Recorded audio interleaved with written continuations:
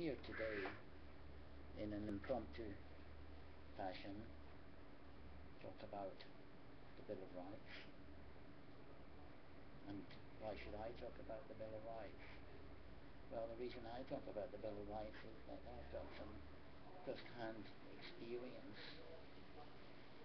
about from other people about how their rights have been overridden, seemingly in some sort of small way, but that's the way it does seem to happen with the Bill of Rights, is that there doesn't seem to be any sort of laws um, regarding what they're doing and the usual furor has not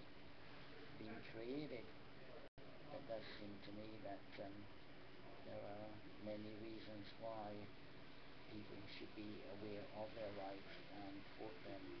when they feel that they have been harassed or have been supervised or cell phones or cameras are being used in a very unfavorable way and made, making people feeling uncomfortable and this is not really what we want. We want a society which is free and democratic and in order to maintain a democracy and not to encourage a tyranny, we must be aware of our rights and be able to enforce our rights.